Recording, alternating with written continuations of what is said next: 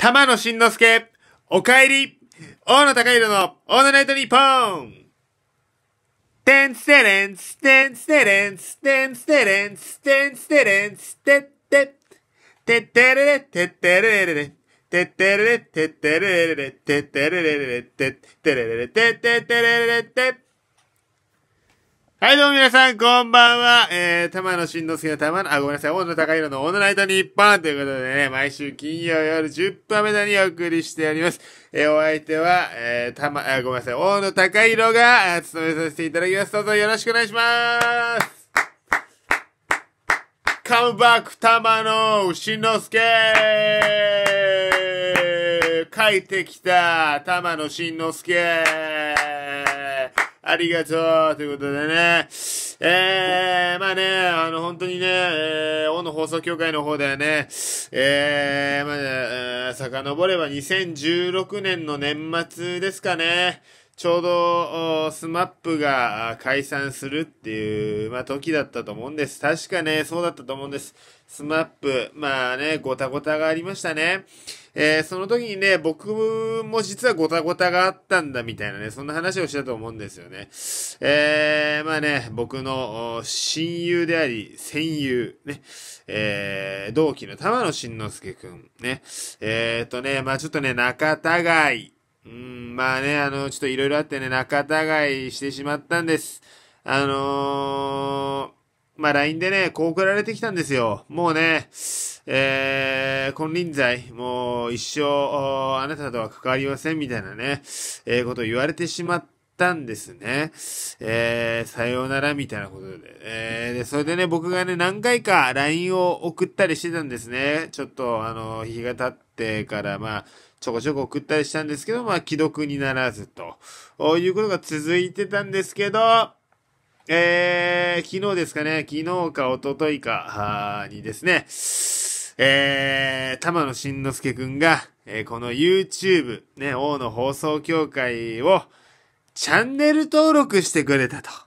はい。えー、まあ、チャンネル登録してくれた。そして、えー、まあ、多分見てくれてるのかな？えー、これも聞いてくれてるかな？玉野。俺何回も呼びかけたよな、YouTube でもな。うん。えー、まあそれでね、あの呼びかけたのがね、まあついに功を奏したと。うん。昨年1年間ね、呼びかけましたんで、えーついに功を奏したな、なんて思っております。えー、チャンネル登録ありがとう。あそしてね、えー、今日 LINE するよ。許可した LINE する、玉野にな。えー、玉野お帰りって LINE するからな。うん。お帰り、玉野しんのすけ。な。えー、玉野くんのね、話でちょっとまあ、尽きないんですけども、えー、玉野くんってね、ドラえもんが好きでね、うーん、玉野くんってドラえもんが好きなんだよ。えー、どっちが好きなんだろう、僕とドラえもん。えー、ね、えー、大野高弘とドラえもんどっちが好きなの？玉野なんてね、言いたいんですけども。まあね、ドラえもんのね、えー、確か映画もね、えー、そろそろ公開ですよね、確かね。うん。えー、まあ非常にね、あのー楽しみです。えー、僕はね、あんまりドラえもん見ない、あんまりっていうかほぼ見ないんですけども。えー、まあね、玉野くんがね、多分今楽しみにワクワクしてると思います。ドラえもんが公開するってことでね。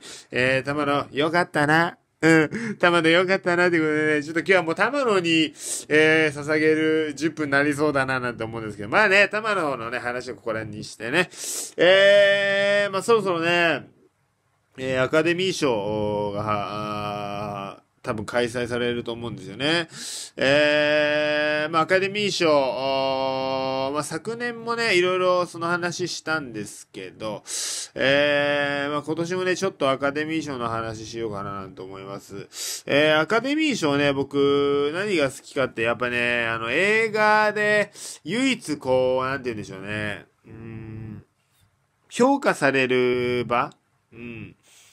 えー、なんかさ、俳優さんとか女優さん、女優さんまあ、演技する人々ってさ、人ってさ、なんかこう、視聴率で判断されたりだとかね、テレビドラマだと。うん。だからそういうのでしか評価されないじゃないですか。なんか、例えば芸人だったら、えー、M1 とか、キングオブコントとか、まあ、R1 とかね、いろいろあると思うんですよ。うん。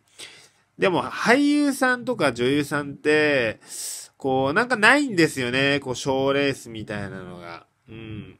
なんかそれって、なんか僕個人思うに、なんか、うーん、まあなんて言うんだろう、ちょっとモチベーション、どうやって維持してるんだろうなって僕個人には、的には思うんですね。えー、やっぱ賞レースがないと、こう、となんかちょっとモチベーションないんじゃないかなと思うんですけど、アカデミー賞っていうのがあるんで、日本アカデミー賞ですね。日本アカデミー賞っていうのがあるんで、あのー、やっぱりね、そこをモチベーションに頑張ってる人って非常に多いんじゃないかなと思います。はい。えー、で、まあ何年か前に、じえー、最優秀作品受賞した、えー、海町ダイアリー、2年前かな、確か。うん、海町ダイアリーっていう、う作品があって、で、それを受賞したんで、えー、見た、僕。だからね、あのー、すごい影響力あると思うんですよ。まあ僕みたいな、まあ僕結構映画見る方だと思うんですけど、まあ僕みたいな人でも、あ、アカデミー賞取ったんだこの作品、じゃあ見ようかなってなるんで、だからね、やっぱアカデミー賞ってすごい、うん、あのー、大きい、うん、ものかなって。まあ昨年はね、シン・ゴジラとかさ、君の名とかさ、すごい激戦だったじゃない。ね。この世界の片隅にだっけ？片隅からだっけ？わかんないけど。だからいろいろあってさ、まあなんか、激戦だったと思うんですけど、まあ今年はね、何が受賞するんでしょうか？非常に楽しみでございます。まあ僕、まあね、何が今ノミネートされてるのかも全くわからない状態なんですけども、えー、僕個人では去年、面白かったのは、やっぱり、スターウォーズ、スターウォーズアメリカじゃねえか、おい、ほんとに。スターウォーズ最後の時代、アメリカだろ、あれ。出てこねえだろ、日本アカデミー上に。まあね、あと、君の水蔵食べたいとか多分ノミネートされるんじゃないかな。うん。だからね、まあ非常に楽しみです。うん。多分、君の水蔵を食べたい結構いいとこまで行くと思います。僕の予想ですけども。はい。えー、といったところでね、え、ちょっと曲行きましょう。えー、まあね、あのー、まあ、玉の国に限らずです。えー、えー、僕ね、もうみんな仲間だと思ってます。うん、この世界中、この地球上、えー、僕のアンチ以外みんな仲間だと思ってます。あのね、くだらねえコメントしてくれるやついるんだよ。YouTube とかね、Twitter、俺宛てにね、すげえくだらねえバカみたいなコメントしてくれるやついるんだ。そいつら除いてね、えー、他全員はね、みんな仲間だと思っています。えー、それでは聞いてください。えー、大野隆弘で、みんな仲間。一周回ってさおいでよ一周回ってさ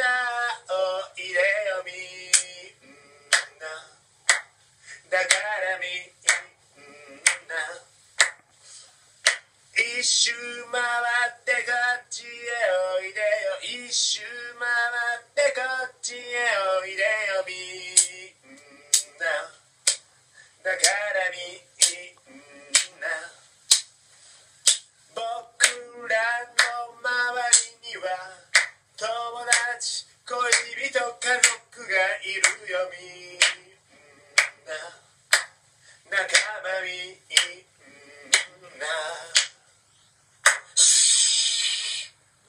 はい、聞いていただきました。大野高弘で、みんな仲間でした。ありがとうございました。玉野は親友です。ありがとうございます。ね。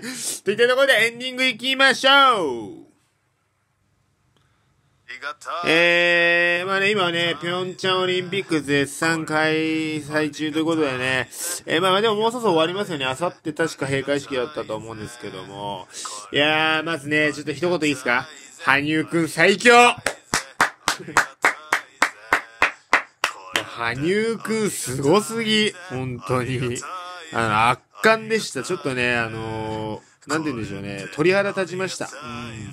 ふ、久々に震えたよ。君の演技で。うん、ありがとう、羽生くん。ね、金メダルもたらしてくれてね。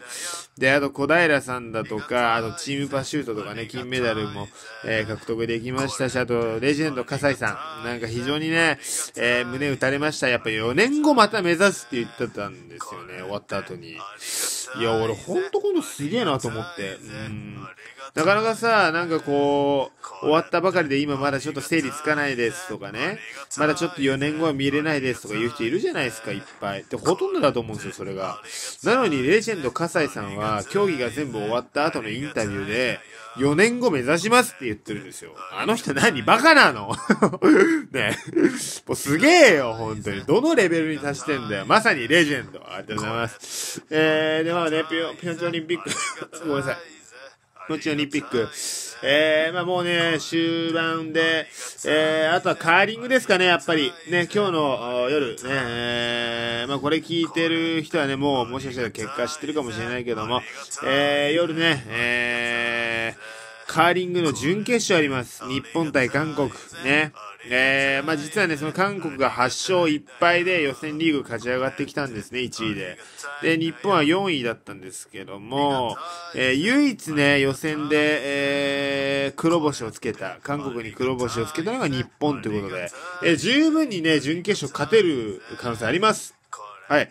えー、みんなで応援しましょう頑張れ日本みんな応援しましょうね。えー、で、決勝行ってね、金メダル取ってね、欲しいと思います。あのね、カーリング女子可愛い、みんな。うん、可愛すぎる。うん。えー、まあ僕とね、同じ年代の人がいっぱいいて、26歳とか20、えー、6歳なんか7歳とかね、あの、同じ年代の人がいっぱい活躍してるんでね、まあちょっと刺激受けますし、えー、いろんなところ、えー、あの、まあ下の方も刺激受けるというか 何言ってんだわ、本当に。ということでね、えー、カーリング女子、頑張れね、えー、あとね、まあ多分いろいろもう、あると、あと、あとね、なんか、竹内さんっていうね、で、ただ、確かパラレル大回転かな。竹内さんっていうね、えー、ソチの時にね、銀メダル取った人がね、えー、土曜日出るんでね、それも非常に楽しみにしております。えー、十分メダル狙えるんじゃないかなとも思っております。えー、以上、OHK、えー、ピョンチャンオリンピックスペシャルサポーター、大野隆弘でした。ありがとうございました。ね、あと2日間、えー、しっかりと務めたいと思います。え、大野高弘のオールナイトニッポン毎週金曜夜10分目にお送りしてきました。お相手は吉本芸人大野高弘が務めさせていただきました。ありがとうございました。えー、来週もよろしくお願いします。では最後に一言夢で会いましょうバイビー